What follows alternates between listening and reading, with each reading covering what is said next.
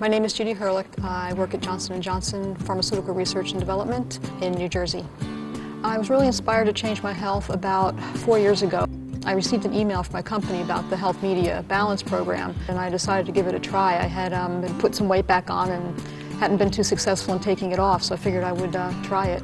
I felt I could relate to it immediately. Once I answered the questions and I got the program back, it made a lot of sense to me. It was like it was speaking to me. It was based on my answers to the questions they asked. It was like a really a self-tailored program. I was good at starting a program and losing the weight, but keeping it off was always something a little more difficult. But with the balance program, I've been able to maintain the weight loss for four years now.